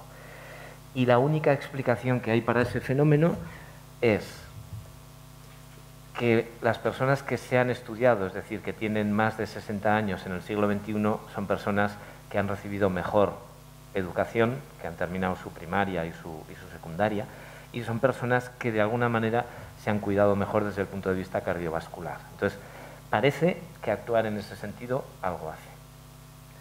Y la segunda buena noticia nos la dan estudios como el FINGER, que es que aunque es cierto que es mejor empezar, empezar a cuidarse, iba a decir a los 50, no, lo bueno sería empezar a cuidarse desde el primer año, ¿no? Con una buena alimentación, por eso es tan importante que en los colegios empecemos a hablar de todas estas cosas. Pero bueno, aunque te empieces a cuidar cuando tienes 65 o 70 años, parece que también funciona. Y has tocado un punto que para mí es clave, que es que seguimos teniendo esa visión de que cuidarse no mola. Es decir, comer saludable pues no es atractivo tener que ir a andar tres días a la semana, pues no me apetece. Pues estoy mejor aquí viendo la televisión. O yo qué sé, que empiece a comer mejor y privarme del cocido. Por eso decía que creo que los programas de intervención y de prevención hay que contextualizarlos en lo que es el envejecimiento activo y saludable. Y el envejecimiento solo puede ser activo y saludable si es la persona la que toma la decisión. Es decir, si no es algo que me impone el jodido del médico que no me deja hacer nada. Soy yo el que como aprendo que, joder, que además del corazón está en juego mi, mi cerebro y que resulta que me están diciendo que cuidarme pues supone que me divierta más porque salgo al monte, porque salgo a pasear con la cuadrilla, porque joder, la comida saludable pues se puede preparar bien y hacerla atractiva y, joder, pues igual no tengo ni que ir al médico, voy a la farmacia, me tomo la atención y según como la tenga pues ya iré al médico o no. Es decir, si tú, eso que está tan de moda ahora de empoderarse, ¿no? empoderar con la información es hacer que una persona sea ella la que decide cuidarse. y no es algo que el médico dice porque es un pesado, que no sabe vivir. Puedes imaginar las personas que entran en el estudio, las que les tocan el grupo control, la frustración que hay. Porque vienen, joder, quiero hacer algo, quiero hacer algo. Entonces, esas son las dos buenas noticias y el reto que tenemos de hacer atractivo el, cuidarse. Respecto al plan nacional que mencionas, pues lo discutíamos antes en el, café, ¿no? Eh, como ha dicho Rafael, pues yo estuve aquí trabajando con, con Maribel Ingelmo, con la anterior eh, directora, y con gente de CEAFA y con gente del Ministerio del Inserso, en un plan que siempre hemos dicho que era demasiado ambicioso y si abarcas mucho aprietas poco, eh, y que ahora lo ideal en esta revisión sería primero aplicar lo que hemos aprendido desde que se escribió, porque desde que se escribió hemos aprendido mucho, y hacer un poco como el resto de planes en, en otros países, que es ir a cosas más concretas. Prevención, prevención. Atención sociosanitaria en fases avanzadas, atención, pero ir a cosas más concretas a las que sea fácil ponerles una partida presupuestaria, porque al plan tal y como está es imposible ponerle una partida, es, es, impensable. Pero ir a cosas más concretas, pero antes mencionábamos, pues que, yo qué sé, que la gente deje de usar el mini mental y empiece a usar el fototest, por ejemplo, porque es más fácil y tiene mejor rendimiento o que cualquier servicio de neurología, geriatría, psiquiatría que vean pacientes con deterioro cognitivo tenga una neuropsicóloga eh, adjudicada, iba a decir, eh, adscrita. Eh, un ensayo para genérico, me le queda. Un ensayo para genérico, eso estaría guay, eso estaría muy guay. y además se podría involucrar a las compañías que llevan genéricos. O sea, colaboración público-privada es, es la respuesta. Eh, o que mm, todos los servicios tengan acceso a, un laboratorio donde se analicen cosas, yo creo que hay que ir a, cosas concretas a las que sea fácil aplicarles una partida presupuestaria porque el objetivo merezca la pena y sea alcanzable. Lo que se escribió, pues estuvo muy guay, aprendimos mucho escribiéndolo, y, pero, pero no, no, no iba a ningún lado. Perfecto.